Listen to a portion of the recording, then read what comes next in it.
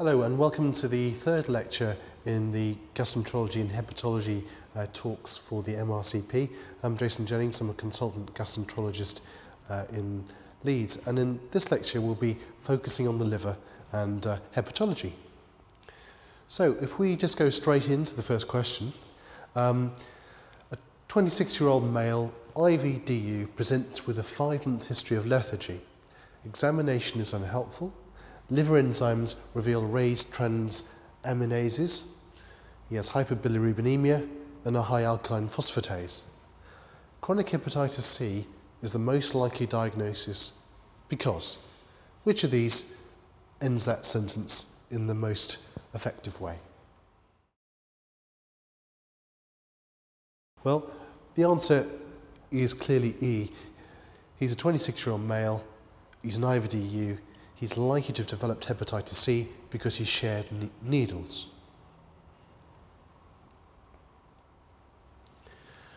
Question two, along a similar theme. You're asked to see a 26 year old nurse who suffered a needle stick injury about eight months ago. She didn't go immediately to occupational health, but went to see her GP later on because she started to feel unwell, tired, and lethargic. She has raised ALT, anti-HBS antibodies and anti-HCV antibodies. She has low levels of hep C RNA. She's had a liver biopsy um, and this has shown early inflammatory change. What diagnosis fits best with this clinical picture?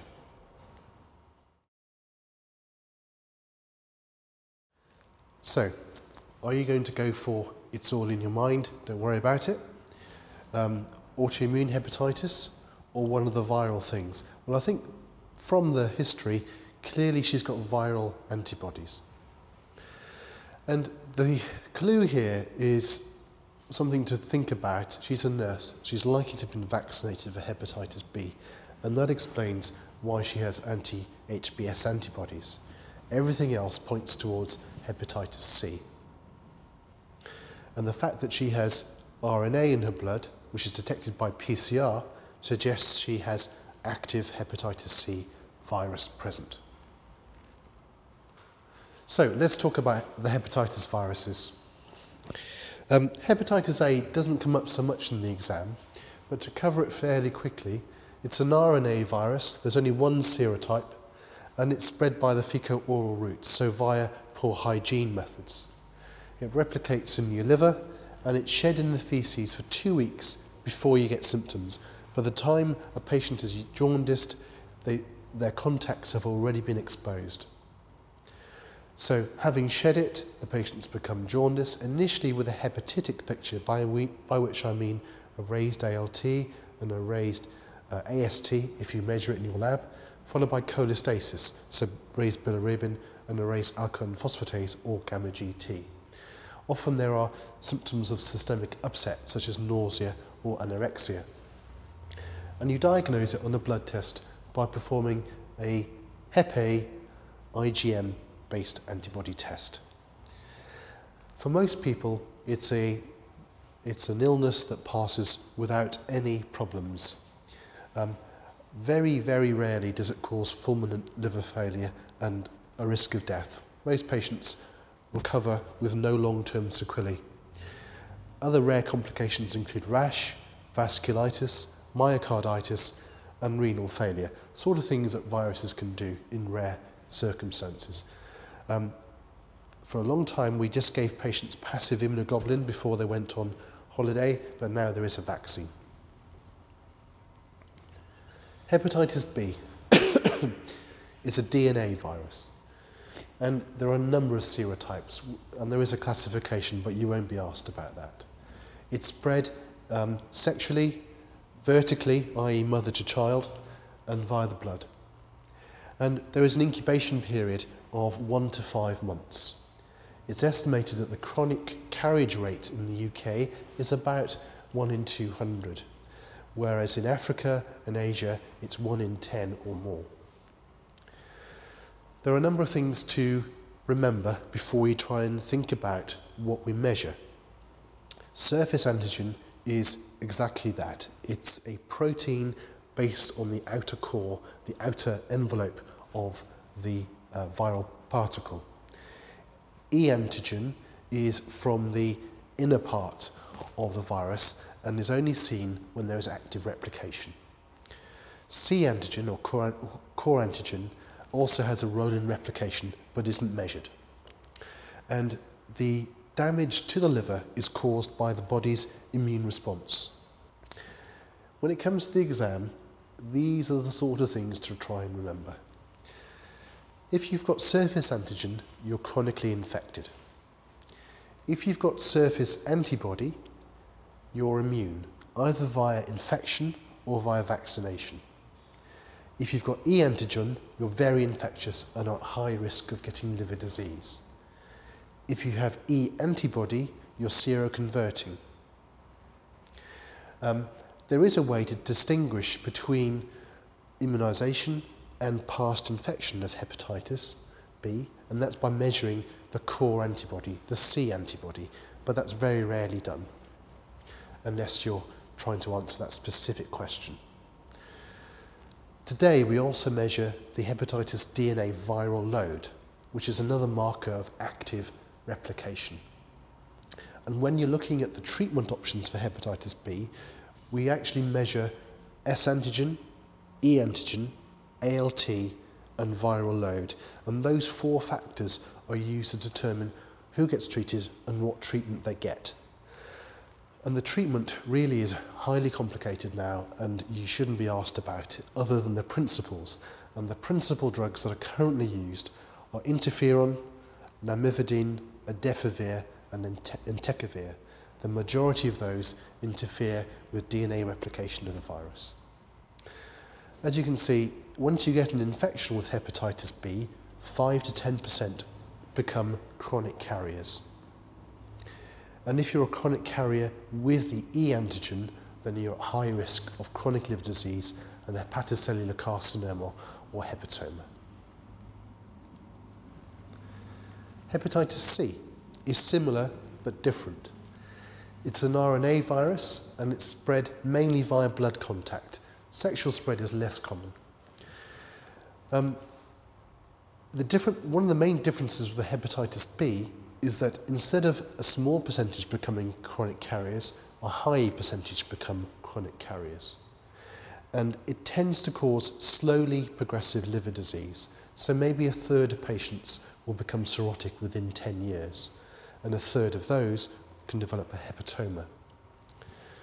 The testing is based on an IgG antibody, which remain positive for life, so you can't distinguish between current or past infection. The way to determine if you're currently infectious and currently at risk of liver disease is by doing the PCR. there are six genotypes, and the treatment is currently based on a combination therapy of interferon with ribavirin. On the length of duration of treatment um, very much depends on the genotype. Genotypes 1 and 4 have the poorest response, 2 and 3 have the higher responses, and consequently 2 and 3 get less uh, duration of treatment. And in fact, many patients now would be treated for 2 or 3 without having a liver biopsy first. So, let's move on. A 42-year-old woman is referred to the liver clinic by her GP she has a raised ALT at 160. Her past history of note includes diabetes and obesity. She had cholecystitis two years ago. What diagnosis best fits this picture? And we have a choice of five things again. Autoimmune, PBC, gallstones, cirrhosis, and non-alcoholic steatohepatitis.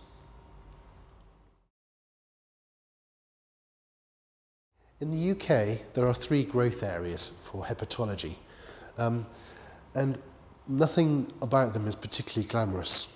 Alcohol, fatty liver disease, and hepatitis C. And this woman has got some characteristics from the history that suggest she has fatty liver disease.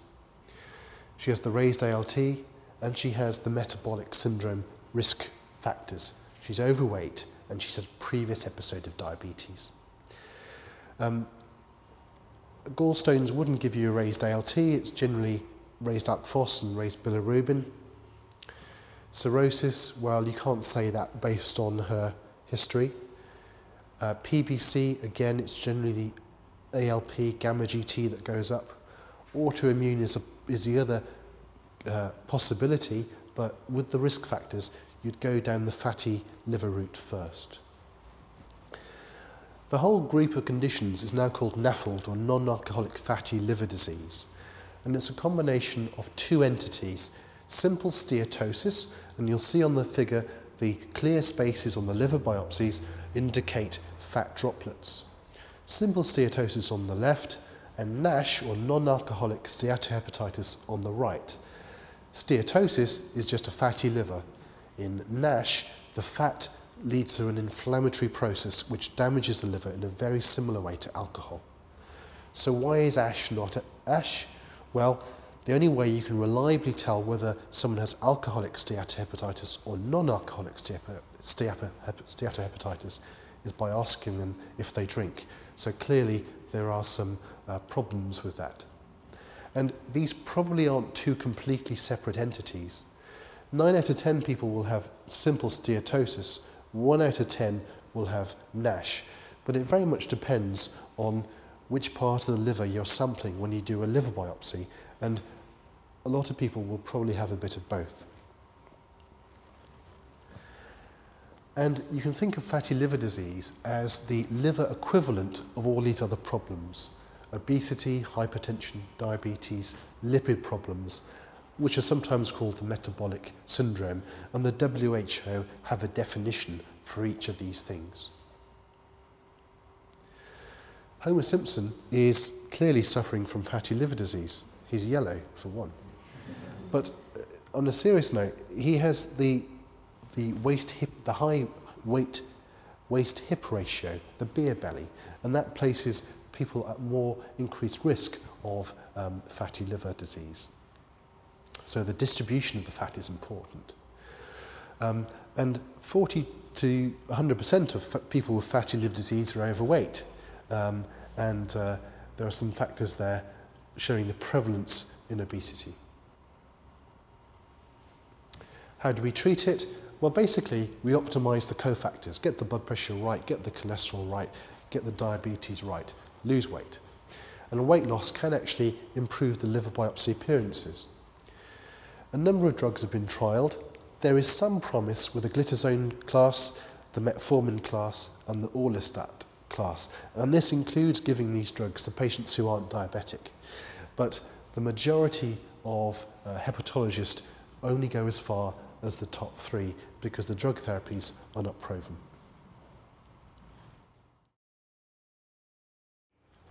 Question four. A 45-year-old man with a history of alcoholic cirrhosis comes to A&E with torrential upper GI bleeding. You suspect he may have varices. Which of the following best fits with the clinical features of varices? Just read through those. I'll give you a moment and then we'll go on to the answer.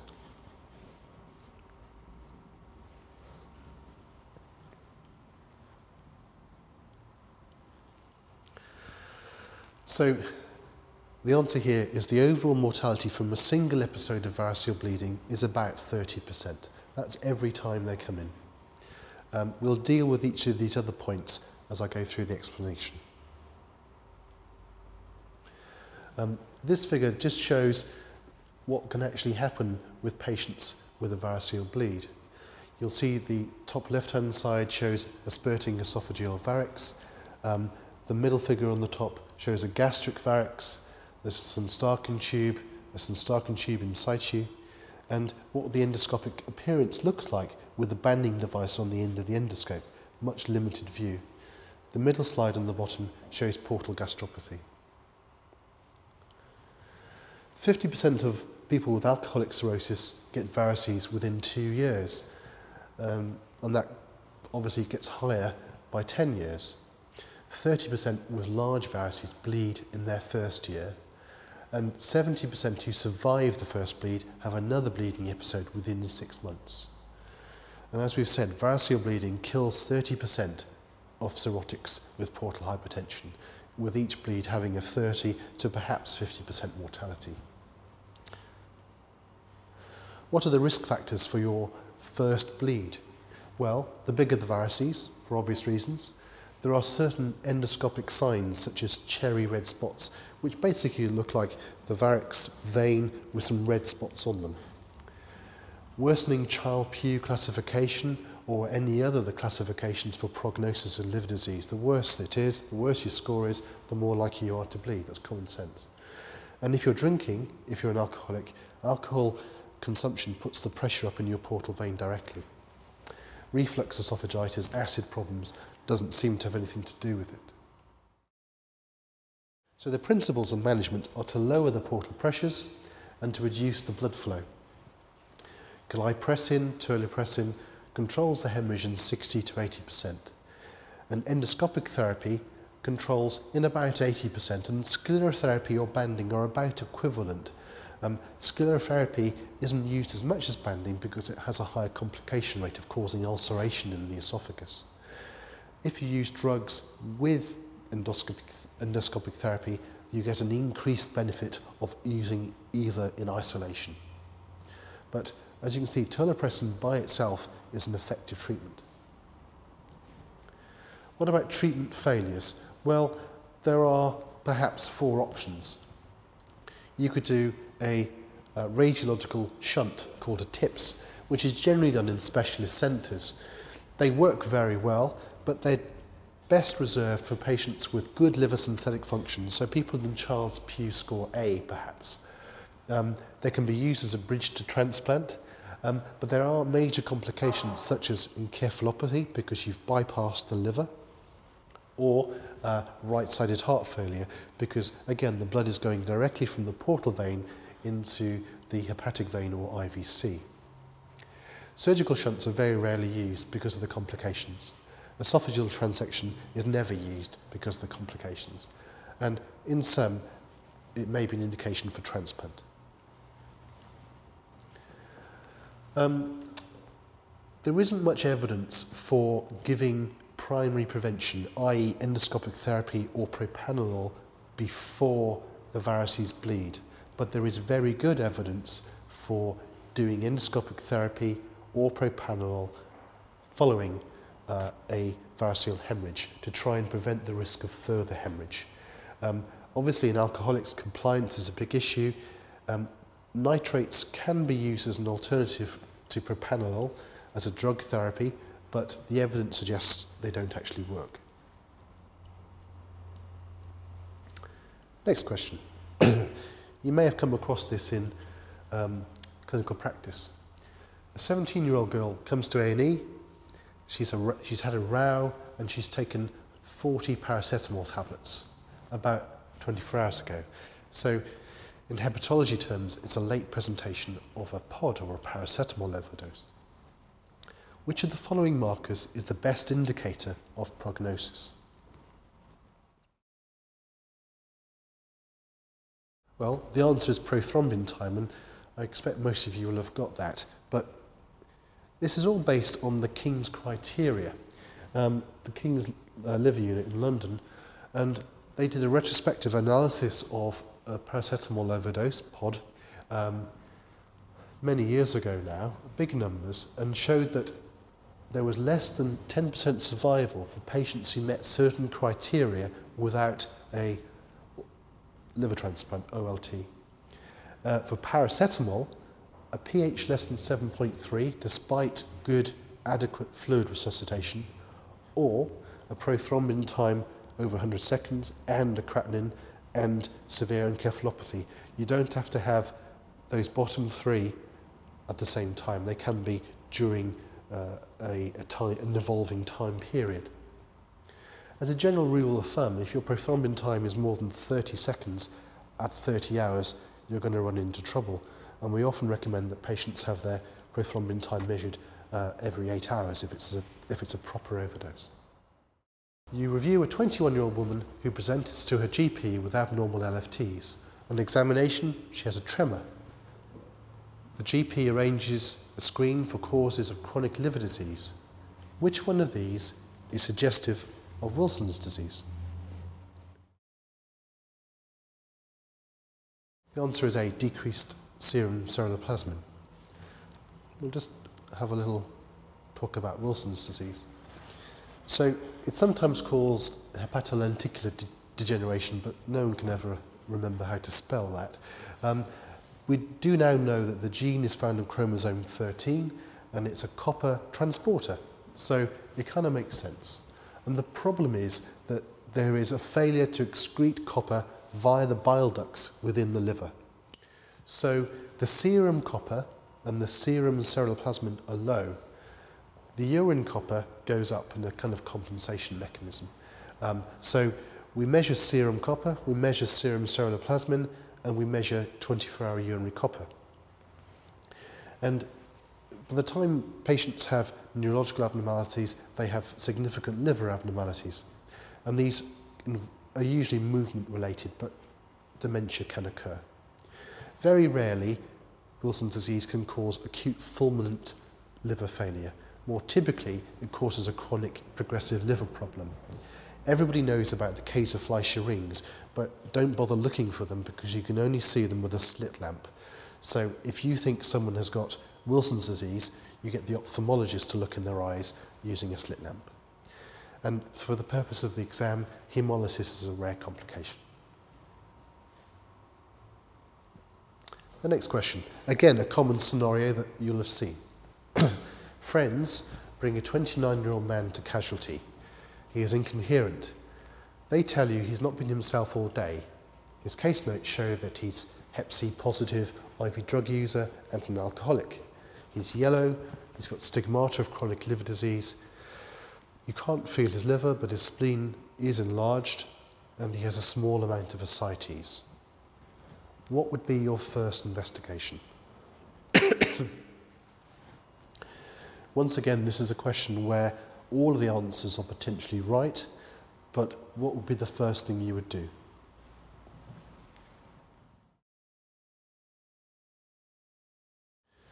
So the concern here is that he may be encephalopathic. And you would do a CT head to look for subdurals or some other intracerebral pathology. you would measure his electrolytes and his sodium may well be low, especially if he's actively drinking. You may do a blood alcohol level. There isn't a huge point if his friends say he's been drinking, but some people like to have evidence. You would certainly sample his ascitic fluid looking for SBP, but in the question, it has a small amount of ascites. Um, one of the reversible causes of encephalopathy is hypoglycemia, and of course one of the functions of the liver is um, to make glucose and to store glycogen and uh, to regulate your blood glucose level. So your first investigation, hopefully in A&E or by the paramedics, would be to do a BM. This is a similar question. An alcoholic patient with chronic liver disease presents with ascites, peripheral edema and a raised temperature. The diagnostic tap shows neutrophilia what would be your first line of management? And we have some choices here again. Antibiotics, a ascitic drain, a uh, shunt, some diuretics, or fluid restriction and salt restriction. So all of those are potential treatments in this situation, but what would be your first line management?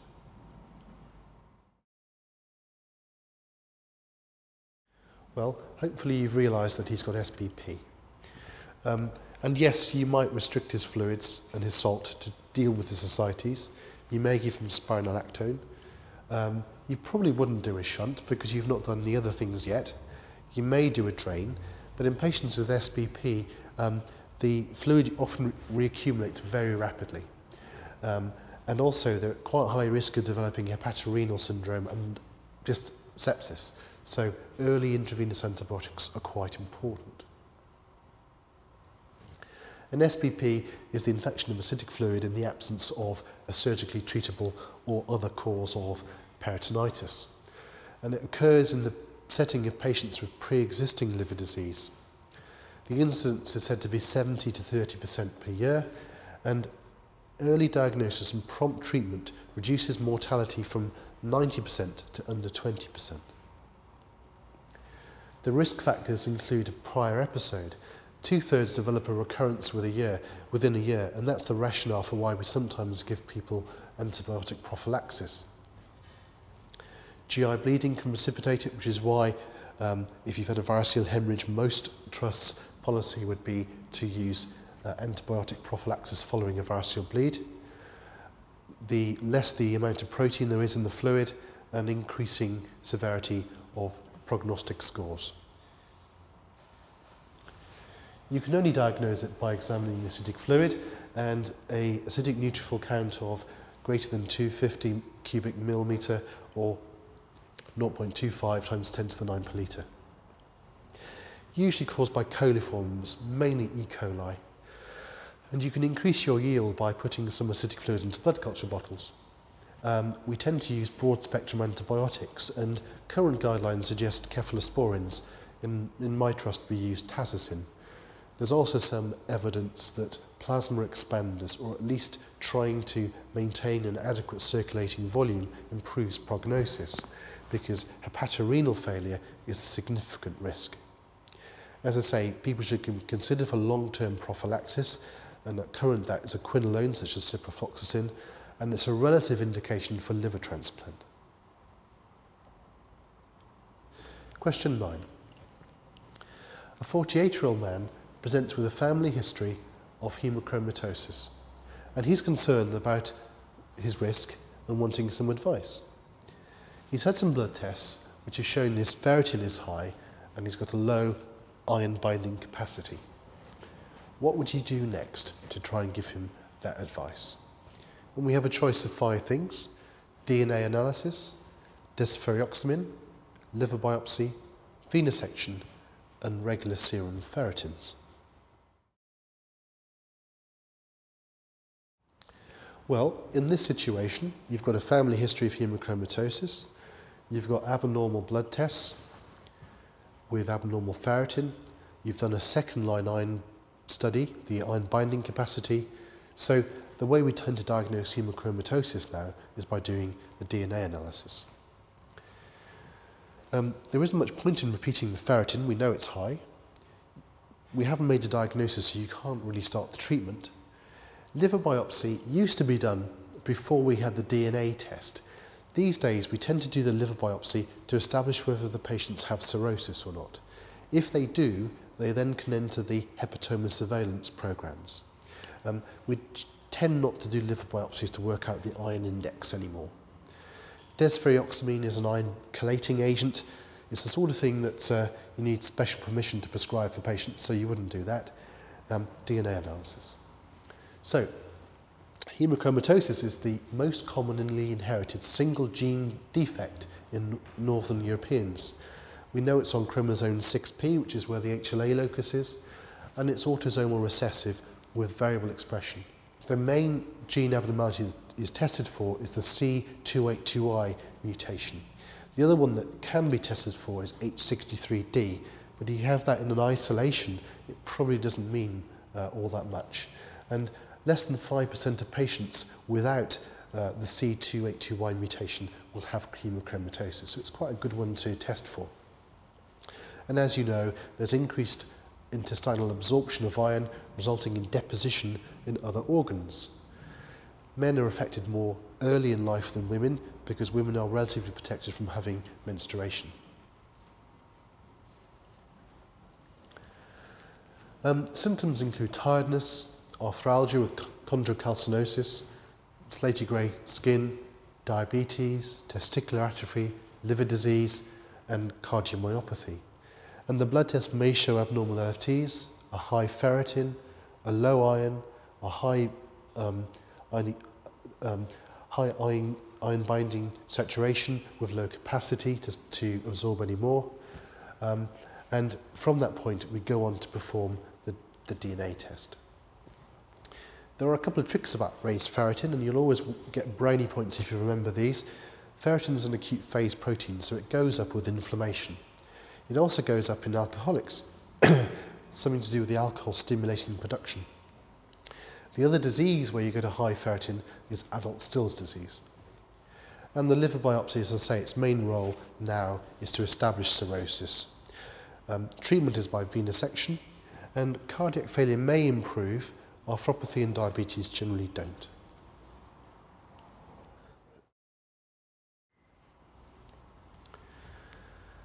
The next question, question 10. A 34 year old woman with a history of diabetes comes to clinic with tiredness, mild abdominal discomfort, and itching. The GP has done some tests prior to her clinic visit. And these tests, what do they show? Well, she's got a raised HbA1c, um, renal function is normal, full blood count looks pretty normal too. We haven't got any LFTs, but we know that her smooth muscle antibody is positive and her immunoglobulins are raised. Which one of the following would be the next appropriate investigation? An ultrasound, some LFTs, uh, creatine kinase, Synacthen test, or TFTs. So, LFTs. I kind of gave it away with my preamble before. Um, so this lady has got tiredness, positive smooth muscle antibody, positive immunoglobulins. So you might be thinking about liver disease, you might be thinking about autoimmune hepatitis. There are different types, and I'm not going to go into this in any detail, but basically type 1 and type 2, which have different antibody profiles, you won't be asked about this. But in simple terms, type 1 and type 2. The type 2 one is why we now test for LKM antibodies, which you'll have seen on the immunology when you've asked for liver autoantibodies. It's a, it's a, it's a variant which is pretty rare, it's quite common in women, and it presents in a very aggressive, very damaged liver very early on with poor response to treatment. Type 1 is the more traditional autoimmune hepatitis you'll have be familiar with. More common in women, can occur at any age with the positive smooth muscle antibody, the positive ANA, um, and will respond to steroids and azathioprine for the majority of patients. As a general rule of thumb when it comes to liver disease, immunoglobulin A is raised in alcohol, A for alcohol, immunoglobulin G is raised in autoimmune, G for autoimmune, I think that's reasonable, and IgM is raised in PBC. So you can get a clue from um, the immunoglobulins sometimes. Again, uh, there are some features on the liver biopsy which might give you a clue when it comes to working out a diagnosis from a question point of view. If you see a liver biopsy that says plasma cells, autoimmune. If you see a liver biopsy that says granulomata or lymphocytes around the bile ducts with ductopenia, PBC.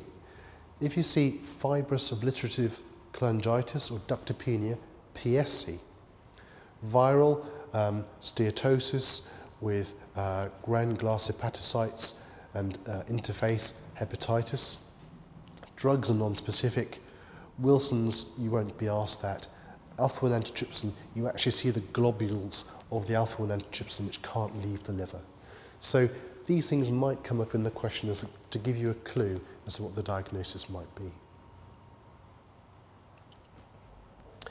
Um, general rules with autoimmune hepatitis, well, if you're cirrhotic, quite a high death rate by five years, but steroids work well in a large proportion of patients and tend to work well if given in conjunction with azathioprine, with quite a high relapse rate if you withdraw treatment.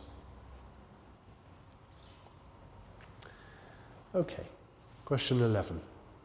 A 62-year-old man presents with jaundice to his GP. He has itching and weight loss over the past six months. On questioning, he admits to vague abdominal pain. He drinks a little bit, not very uh, much compared to some of the patients, but 12 units per day. Other history of note includes smoking um, in the past, and he gets intermittent diarrhea. An examination, not a lot to find, although he is yellow, and he has some vague right upper quadrant tenderness. So itching, lethargy, weight loss, jaundice, abdominal pain, diarrhea, drinks a bit. His blood tests show um, a raised ALT, possibly a raised alkaline phosphatase, depends on the, the reference range in the lab, but his ultrasound shows biliary dilatation.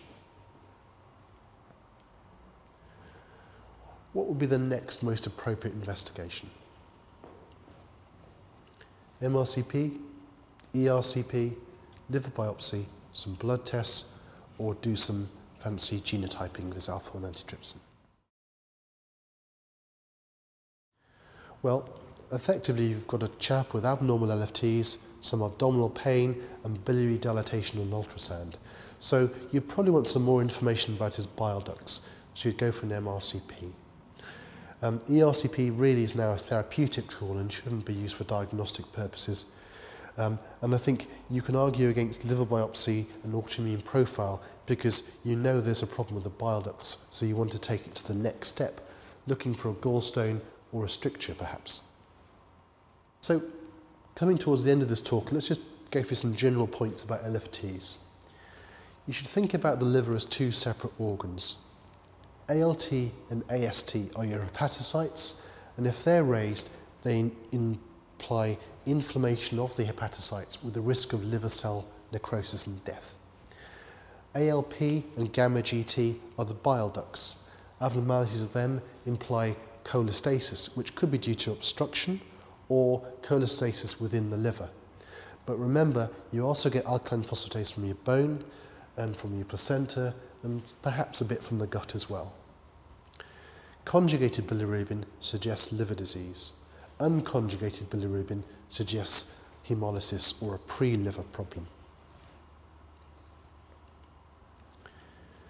So if you have a patient with abnormal LFTs, go through the history, assess their alcohol consumption, talk about foreign travel, talk about treatments they may have had, IVDU, sexual activity, herbal remedies.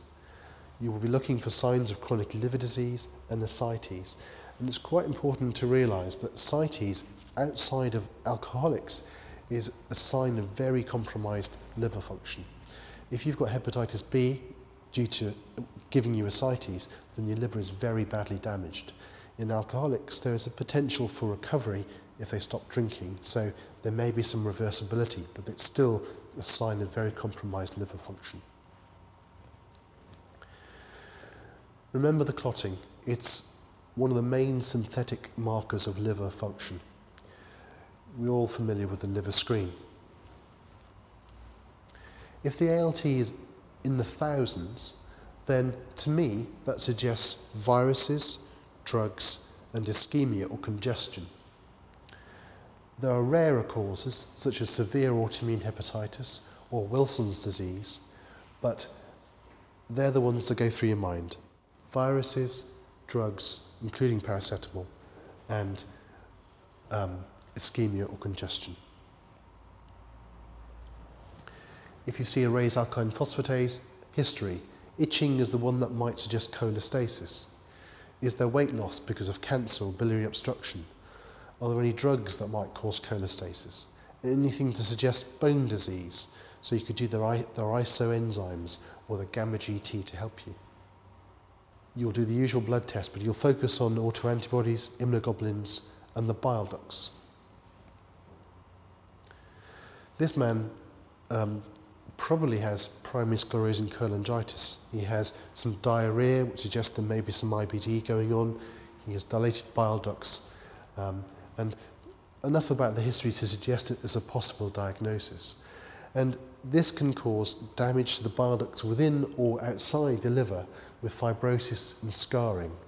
70% of patients are men, 90% of IBD, although only a small proportion of patients with IBD have PSC. ANA is positive, SMA may be positive, but the main marker of PSC is the p-ANCA. there are HLA associations, but the main risks of PSC are the risks of cholangiocarcinoma or cancer of the bile ducts and colon carcinoma. So if you have a patient with PSC, you always do a colonoscopy to look for UC or Crohn's, even if they don't have any symptoms of diarrhea. Um, if they do have IBD, then they have annual colonoscopies to survey them because they're at such high risk. PSC is very different to PBC, which is a destruction of the bile ducts within the liver very much more common in women. Often there's just a high alkaline phosphatase and it's diagnosed by doing the antimitochondrial antibody. 98% plus of them have the M2 subtype of AMA. They may also have the raised IgM and a liver biopsy will show ductopenia and maybe granulomas around the bile ducts. You can treat them using ursodeoxycholic acid and there are criteria at which point they reach transplant. Patients with PSC and PBC often get varices earlier than the intrinsic liver diseases, such as autoimmune or viral hepatitis. Well, I think that completes the third lecture, um, the end of the hepatology lecture. Um, thank you very much for listening.